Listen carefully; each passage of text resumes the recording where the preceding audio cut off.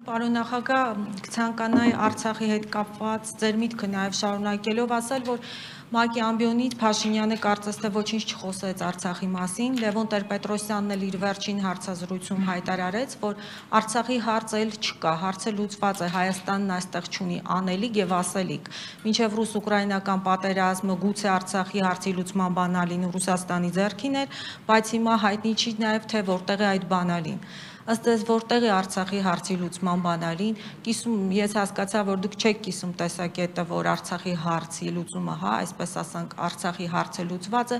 եւ ինչ անի Հայաստանը, որ Արցախը երբեք չլինի Ադրբեջանի կազմում։ Շնորհակալություն։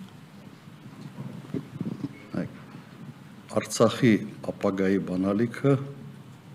իմ խորին համոզմամբ Արցախի ժողովրդի ձեռքին է։ Դա այդպես է հիմա, դա այդպես է եղել 92 թվականին, երբ մեր վիճակը ավելի լավ չէր։ 92 թիվ հուլիս ամիս, ուղղակի հիշեք, ինչպիսի վիճակ էր։ Այո, Արցախի ժողովրդի ձեռքին է այդ բանալի։ Իրեն գնալու են, այսպես ասենք, էլիտան համագործակցության, այսպես քայլ առ քայլ ինտեգրվելով Ադրբեջանի հետ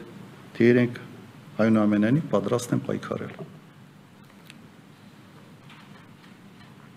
Եվ այդ բանալի մի մասը Հայաստանի ժողովրդի ձեռքին է։ Հայաստանի ժողովուրդը կպարտադրի իշխանությունների որոշակիություն մտցնել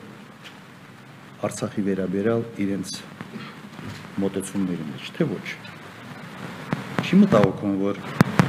հանրապետություն բառը եւ ինքնորոշման բառը այլևս չկա։